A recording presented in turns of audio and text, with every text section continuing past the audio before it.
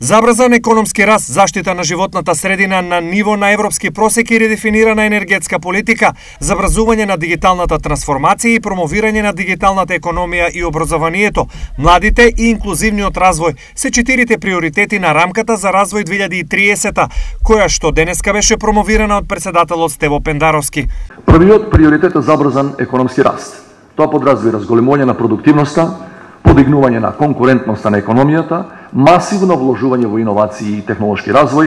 Вториот приоритет е заштита на животната средина. Во тие рамки зборуваме за квалитетен воздух, развивање на ефективен систем за управување со отпадот и интегрирано управување со водите.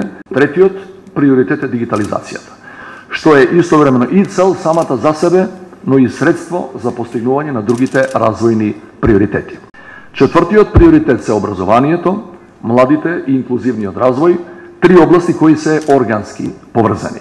За да излеземе од надолната спирала на сиромаштија, социјална исклученост и масовно иселување, потребно ни е образование адаптирано на потребите на пазарот на трудот. Некогашниот министер за финансии и аналитичар Джевдет Хајредини смета дека рамката МКД 2030 ќе биде корисна ориентација за сите надлежни органи. Колку битно било и досега, а ние не сме имале причина тоа да него имаме предвид, независ енергетската независност на државите и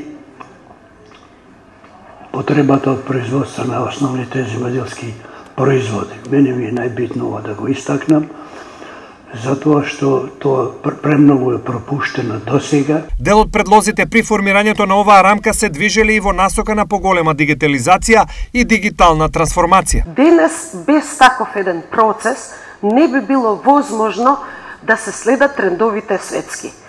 Едно од основните работи кои што ние треба да размислиме и да направиме е тоа да младите инженери успееме да ги задржиме во државата, а тоа ќе го направиме секако со внесување и со нивно, нивно внесување во сите работи во државата каде што е потребна дигитализација. Рамката 2030 содржи 4 приоритети со 166 конкретни препораки групирани во 24 области.